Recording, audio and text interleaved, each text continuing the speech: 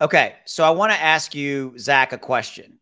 And the question is what do you think is the single biggest way, avenue that crypto is going to grow? And I'm talking now about from a macro standpoint. How does and I, and I know I just threw you under the bus. You're like, you didn't know that question was coming, but how do you envision, what do you think are some of the steps and some of the things that has to happen for crypto to go from, you know, 1 trillion market cap now to back to 2.8, where we were back in the day, three, four, five, six, seven trillion. What's your stance there? I think first and foremost, crypto will grow with or without people on board, right? I mean, slowly but surely, it is being adopted more. And we saw that in the last bull run. But I mean, I think what you're really asking is like, what's that thing that's going to take us over the edge and to get people in their 40s and 50s to look at it? And I think it's regulation. Because okay. I think once regulation comes, the narrative around in the media changes, right? Because now it's not looked at as, as this big bad stepchild over here, right? It's it's part of it's another asset class that's mm-hmm. regulated, that's understood, that's here to stay, that's innovative, that's changing our lives in this way and that way and this way. The problem is it's doing all that right now, but those narratives aren't being put out to the masses, right?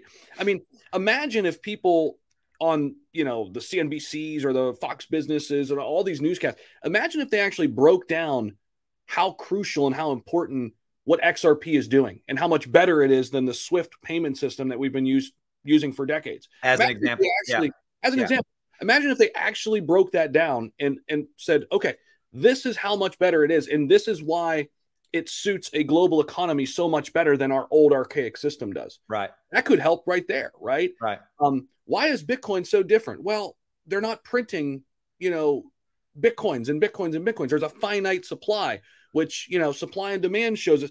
Imagine if they went through these narratives that we know in crypto well, hold on. So let's stop there. You said regulation, which you know I agree with, but let's also dig into that. What does that really mean? You're talking about regulation has to come down from on high to make crypto air quotes coming by the look look safer or more legitimate, which I don't agree with, but we yep. both know where that's coming from.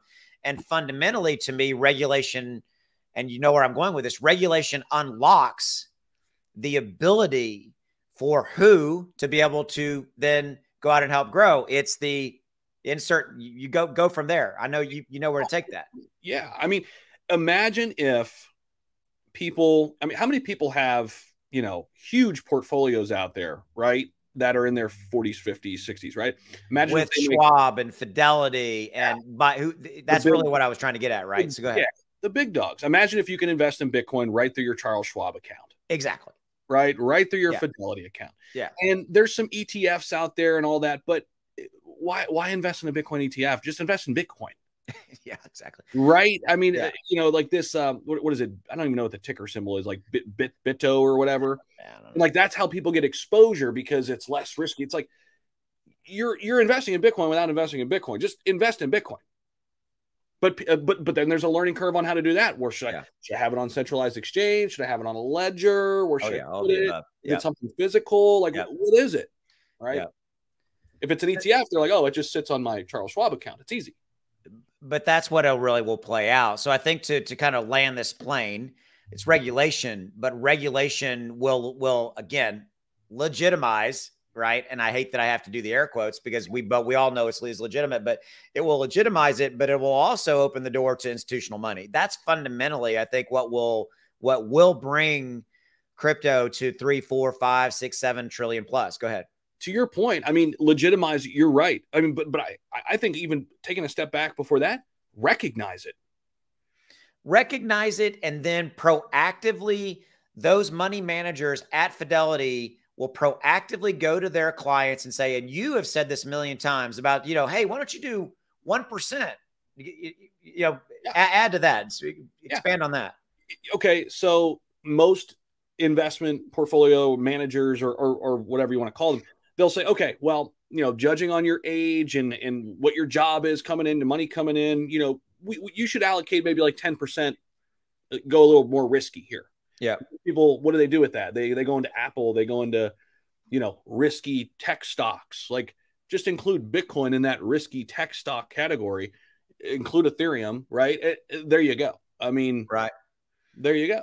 It's it's it's pretty simple. I mean, you know, it's what we already do. It's it's what most people already do that are in crypto. I mean, yeah, make the argument we're probably a little heavily weighted in crypto, but that makes sense considering, you know, we're in it every single day.